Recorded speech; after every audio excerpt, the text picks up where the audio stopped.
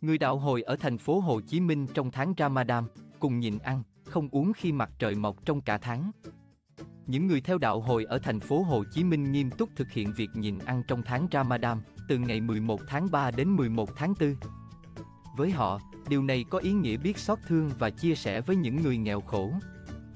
18 giờ 9 phút một ngày trong tháng Ramadan tại Thánh đường Hồi giáo An Rahim, 45 năm kỳ khởi nghĩa, Quy 1, thành phố Hồ Chí Minh, người dân theo đạo hồi cùng nhau ăn uống.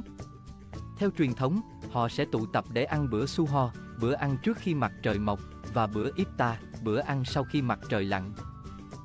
Năm nay, từ 4 giờ 36 phút, họ bắt đầu nhìn ăn uống, nhìn hút thuốc và sẽ được xả chay vào lúc 18 giờ 9 phút. Hôm nay, mọi người ăn cháo gà, gỏi gà, bánh, hai hạt chà là vào giờ xả chay. Người đạo hồi thực hiện nhìn ăn trong tháng Ramadan ngoài chay tịnh, các tín hữu Hồi giáo cũng tập trung tại thánh đường để cầu nguyện. Tháng Ramadan là tháng linh thiêng của người Hồi giáo. Chị Mariam, 30 tuổi, người quốc tịch Việt Nam, gốc Indonesia, cho biết gia đình thức dậy từ 2 giờ sáng cùng nhau nấu đồ ăn, trò chuyện với nhau. Đến lúc mặt trời mọc, mọi người dừng việc ăn uống và duy trì điều đó đến chiều tối. Chị nghĩ rằng điều này không đơn giản ở việc nhìn ăn uống mà xuất phát từ cái tâm, giúp bản thân kiềm chế lại sự nóng giận trong con người. Ramadan là tháng thứ 9 theo lịch mặt trăng của người Hồi giáo, tôi nghĩ việc nhìn chay sẽ hướng con người đến những điều tốt đẹp, hướng đến gần hơn với Thượng Đế. Ngoài ra, mọi người phải nghiêm túc trong việc hành lễ. Đến giờ xả chay, các tín đồ sẽ tập trung ở thánh đường cùng nhau ăn uống, sát lại gần nhau, không phân biệt giàu nghèo, chị Mariam chia sẻ. Tháng Ramadan theo dương lịch thay đổi từng năm, không có ngày thống nhất khi đi ra ngoài. Nhiều người không biết có nhà ý mời ăn uống, chị sẽ từ chối nhẹ nhàng trong tháng này. Mọi người hiểu sự linh thiêng trong tôn giáo của chị nên rất tôn trọng với điều đó.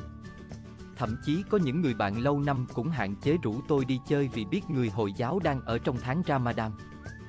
Nếu có gặp nhau, nhiều người cũng không ăn uống trước mặt mình. Tôi cảm thấy vui và hạnh phúc, chị Mariam bộc bạch. Việc nhịn ăn giúp họ rèn luyện ý chí, sự kiên nhẫn, thể hiện sự đồng cảm với những người nghèo khó gia đình anh Abdullah, 27 tuổi, có 10 người, ai nấy cũng nghiêm túc việc thực hiện không đưa đồ ăn. Đồ uống vào cơ thể từ sáng sớm đến chiều tối. Việc sinh hoạt, buôn bán của gia đình vẫn diễn ra bình thường trong tháng này. Người đàn ông chuẩn bị đồ ăn trước giờ xả chay, có những thời điểm dù rất đói nhưng mọi người vẫn tin tưởng vào tôn giáo của mình nên cố gắng nhịn đến giờ xả chay. Khoảng 20 giờ tối, mọi người trong xóm sẽ tập trung ở thánh đường cầu nguyện, anh Abdullah chia sẻ. Anh Abdullah bán đồ ăn tại nhà. Người đạo hồi và người Việt đều có thể mua và thưởng thức. Anh đã quen thuộc với khẩu vị của từng món nên cũng không cần phải nếm trong tháng nhịn ăn. Bữa ăn của người Hồi giáo vào giờ xả chay có các món đơn giản 18 giờ 9 phút. Mọi người bắt đầu vào bữa ăn xả chay, tôi vẫn bán đồ ăn cho khách trong tháng này nhưng tuyệt đối không ăn uống trong giờ quy định. Đến giờ xả chay, tôi sẽ cùng mọi người tập trung ở thánh đường ăn uống, không khí ấm cúng, vui vẻ, chàng trai nói. Người đàn ông lấy cháo cho những người không ăn tập trung tại thánh đường giờ nhịn ăn, xả chay cũng không cố định từng năm ông Châu Amin, 44 tuổi, chia sẻ, ngoài việc nhìn ăn, các tín đồ Hồi giáo cũng hành lễ 5 lần mỗi ngày. Ngoài ra, nếu có điều kiện mọi người có thể chia sẻ, làm việc bác ái với người nghèo, đi thăm những người đau bệnh, Ai nấy đều vui vẻ thực hiện việc nhịn ăn và xả chay đồ ăn được bày biện ra tại thánh đường để mọi người xả chay khi đói, bản thân mới thấu hiểu nỗi khổ của người nghèo từ đó có tình thương với họ. Từ bao đời nay, việc nhịn ăn trong tháng Ramadan đã ăn sâu trong tiềm thức của tôi nên mọi thứ diễn ra rất bình thường, không có gì lo lắng hay ép buộc.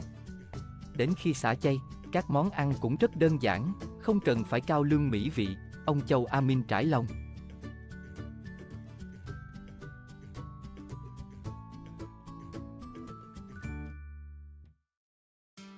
Cảm ơn các bạn đã theo dõi video. Hãy đăng ký bật chuông để lại bình luận bên dưới và hẹn gặp lại trong các video tiếp theo.